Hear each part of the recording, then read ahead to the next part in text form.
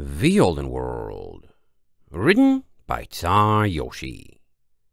Chapter 682 Conversations Long Postponed. Sounds like a rough life, Harshwater said, laying on her back and holding still. The Empire's been giving you that much grief over the cross-species thing? No! I mean, well, yeah.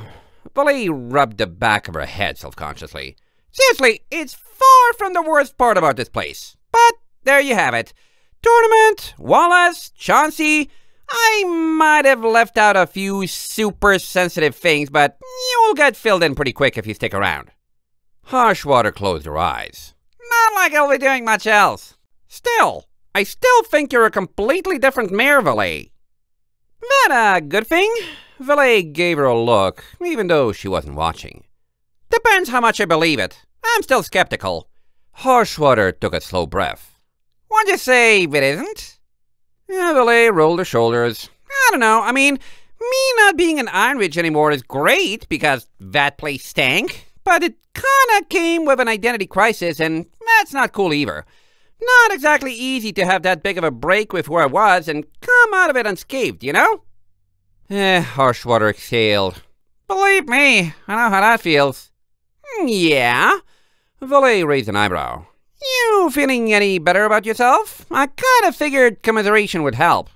I'm fine, Harshwater snapped, no force in her voice. I told you, I'm far better than I was a week ago, now that I'm not about to get murdered in battle. Valet got up, turning to face her.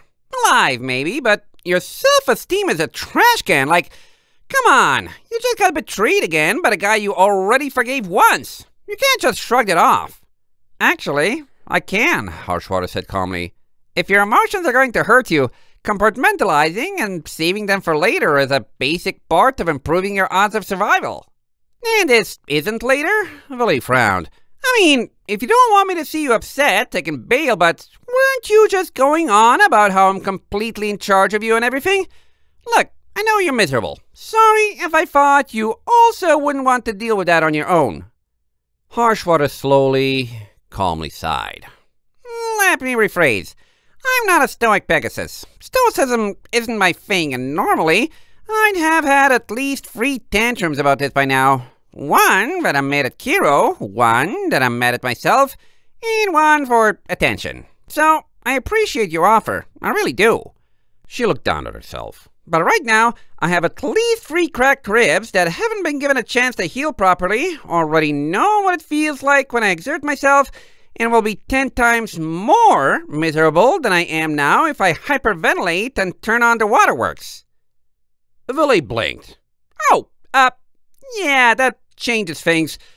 Bananas, are you alright? Like, physically? Let's put it this way. In a life or death situation, I would fight. I would go down very quickly, but I fight. Harshwater gave her a grumpy look. Barring that, and to see a doctor, got a lot getting me out of this bed. Yeah, Valet's ears drooped. I'll take that as a no then. Sorry we used all our healing supplies on everyone else, by the way. They were, uh, in even worse condition, I guess. Don't apologize, Harshwater requested. You weren't there, and not all of them were. They just weren't getting an airlift to civilization and needed to survive in the wild in whatever condition they were in. As long as I was stable, I was fine. Well, I hope that fineness continues, Valet said. And I promise, we're gonna pay off whoever we have to pay at the Grand Temple to get you patched up. If you have something that heals wrong, it's going to be fun for nobody. Thanks, Harshwater mumbled, then looked up. Look, not to be ungrateful, but could you save talking about how great you're going to be to me until after you've done it? I am trying not to get worked up here. Valet saluted with a wing. Gotcha. That, uh, sounds like I've visited enough. I'll make sure someone comes by with food later or something. See ya. See ya, Harshwater replied, going back to reading her book. Valet slipped out into the hallway, not entirely sure whether she'd excuse herself too early, but fairly certain Harshwater wanted to be alone. The ex-mercenary's social cues were weird, and she had either missed far too many not to be cautious or was deliberately being messed with. Either way, painful breathing was as good a reason as any to do what it took to stay stoic, so she wasn't about to begrudge her the grumpy mood. Forcibly calm emotions. Mm, it was a perfect segue in her mind for who she had to talk to next. Maybe Felicity and Harshwater could even help each other. Yeah, she knocked on Felicity's door. Who is it? Felicity sang, voice soft but reasonably upbeat. Yo, it's Valet. Valet put an ear to the door, her muzzle near the crack. Permission to come in? Help yourself, darling, but forgive me if I'm not feeling up to getting the door. Valet entered just like she had for Harshwater, finding Felicity in a similar state, sprawled on her bed. The bad pony wasn't tucked in and had no book, but looked reasonably like she was enjoying herself, a brush beside her and her mane half-tended. She greeted Valet with a beatific smile. What's up? Valet asked, stepping closer. Felicity sighed airily. Not me, I'm afraid. That battle was incredibly rough on my physique.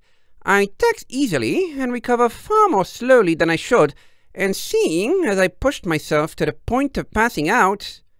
Valet leaned her back against the bed, looking away. Seems like everyone's busted up from all that. Bananas, I did the most fighting, and I'm in the best shape of anyone on the ship.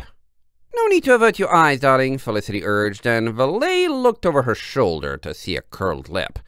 If you're worried, I do think I stopped short of anything permanent, and as long as I'm allotted a peaceful recovery, I should make it back to as good as I usually am.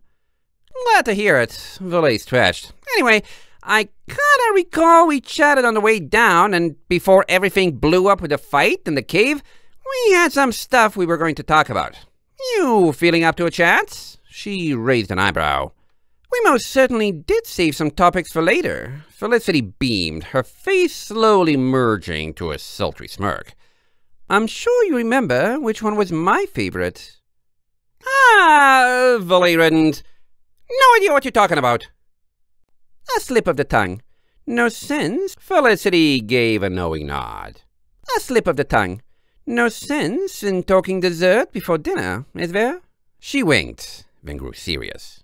So, as I recall, we agreed to trust each other for the time being. You trusting me and my dangerous skill set to run your friends, and me trusting you not to throw me out in the dust. And now the urgency of that truce has passed, and the time has come for a more thorough understanding of one another. Is that a reasonable grasp of the situation? Yeah, Valet swallowed. You're an assassin. You work for the Night Mother, and she has you working for Prince Gazelle, and he has you doing weird stuff like stealing and something involving Stormhoof. And you're pregnant, but I don't remember if he said that had to do with anything. All correct, Felicity agreed. And being that I am in the employ of such lofty powers with the intention of performing such unscrupulous deeds, you wanted to know what would happen were I ordered to bring harm to your friends. I replied that I might not be able to go through with it at all. And then we left things for here, Valet finished. So? So, darling, Felicity returned the look. What next? Valet met her gaze for several moments, unblinking. Bananas! I've no idea. Felicity sighed, sinking into her bed. I'm afraid any script I may have had for this has run its course. Ask me anything, and I'll answer to the best of my ability, but I have no window into your desires. What do you want, Valet? I don't even know. Valet shook her head know there was more we were supposed to say, but I don't even... Uh, she gritted her teeth, swallowed, and shook her head. That whole conversation happened before the battle, you know? It happened before Shinespark got blown up by her dumb sister and knocked unconscious, and you fought until you passed out to keep her safe from the dudes on the beach. You could have hid or ran, and you risked your life for her.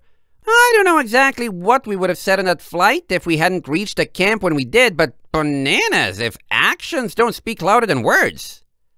Felicity closed her eyes and smiled. Glad to be of service, darling. Still feels like there's something to say, Valet pointed out. You know, like, I wanna say something, or something to solidify that we've reached an understanding, perhaps? Felicity looked hopeful. Not to be presumptuous or put words in your mouth, And if I'm wrong, please correct me, but a familiar calmness washed over Valet, and she could feel Felicity's cutie mark activating. Try saying nothing for just a moment, and see if silence isn't the right word after all. End of chapter 682.